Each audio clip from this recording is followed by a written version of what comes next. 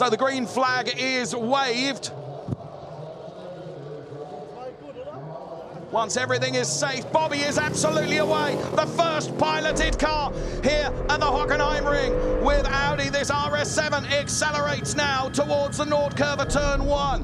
You can see that. Look, it's being steered by nobody. It's being controlled by the intelligence. A great line through turn one. Heading up now towards turn two. Just look at the speed. We're approaching 180 kilometers an hour as we go into turn two.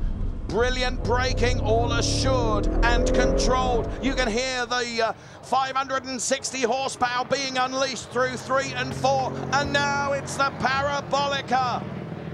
As the tens of thousands of fans here witness history in the making from Audi piloted driving. This is a fantastic shot from our helicopter that is tracking the car. Now, this is going to be crucial. Heavy, heavy braking as the car reaches 220 kilometers an hour and brakes now for the hairpin.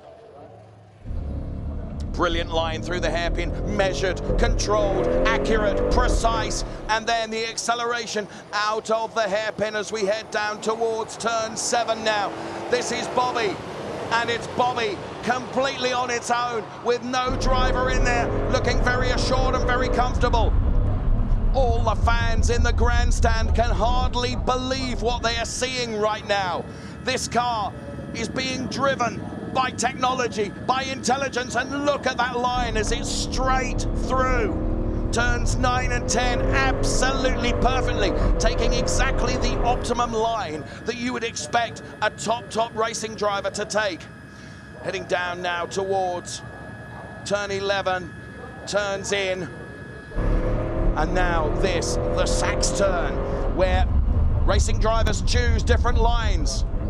Now, Bobby here choosing to hug the inside there, just a little bit of curb, unleashes the power once again. We have turned 13 and 14 to do before a lap at racing speed is completed by a piloted car. This has been absolutely perfect. Not one foot wrong. It has been precise as it heads towards the start-finish line. The absolute optimum lap as the car comes to a stop now. That was truly awesome.